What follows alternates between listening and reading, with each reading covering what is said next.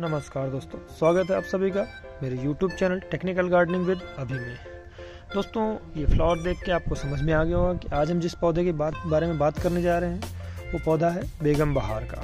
दोस्तों ये all season प्ला, फ्लावरिंग प्लांट है जिससे आप किसी भी सीज़न में बारहों महीने ये फ्लावर देता रहता है। तो इसके बारे में हम पूरी डिटेल में बात करेंगे। मैं अपना मेरा ये करीब आठ महीना पुराना पौधा है। कैसे मुझे इतनी सारी फ्लॉरिंग इस पर मिल रही है। कैसे मैं इसकी केयर करता हूँ? पूरी डिटेल में बात करेंगे। इससे पहले अगर आप सभी मेरे चैनल पर नए हैं और अभी तक मेरे चैनल को सब्सक्राइब नहीं किया है तो प्लीज़ इसे सब्सक्राइब ज़रूर कर लें, ताकि आगे आने वाली वीडियो की नोटिफिकेशन आपको बहुत आसानी से मिलती रहे। तो दोस्तों, बात करते हैं हम इस पौधे के बारे में। ये पौधा दोस्तों, चूँकि नर्सरी पे बहुत आसानी से ईजिली हर जगह अवेलेबल नहीं है बहुत कम नर्सरी वाले इस पौधे को रखते हैं।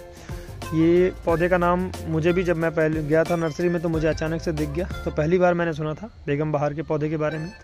तो मुझे अच्छा लगा और इसके फ्लावर्स देखिए कितने खूबसूरत हैं। पर्पल कलर में फ्लावर्स हैं और कुछ इसमें वाइट कलर के इसके निकले होते बाहर लच्छे टाइप में। तो ये फ्लावर देखने में बहुत ही खूबसूरत लगता है।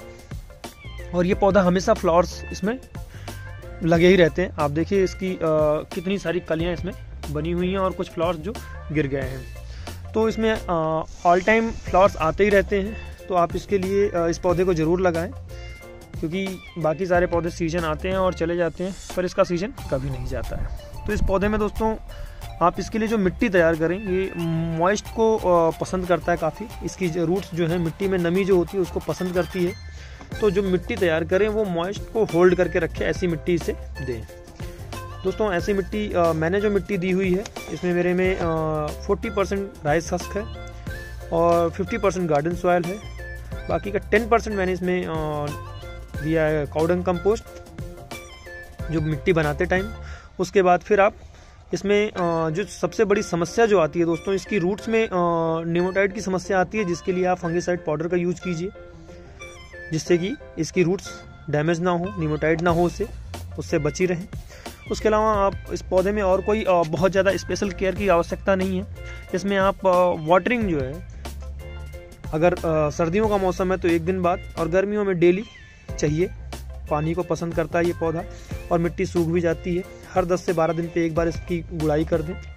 गुड़ाई करना भी बहुत ज़रूरी है।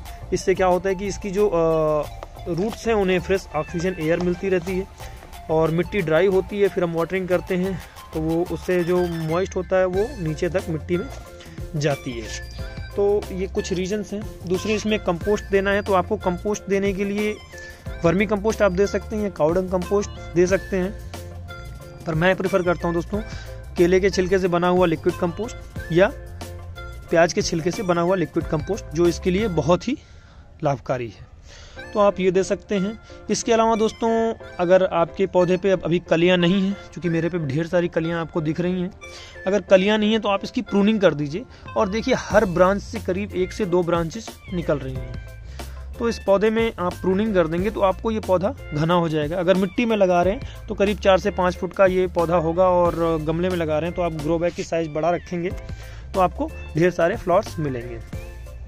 तो इसकी प्रूनिंग करके भी आप इसमें ढेर सारे ब्रांचेस ले सकते हैं और हर ब्रांच पे आपको, देखिए, हर ब्रांच में इसमें कलियाँ लेके निकल रहा है ये पौधा। तो आपको ढेर सारी फ्लॉरिंग मिलेंगी अगर इसकी प्रूनिंग कर देते हैं तो।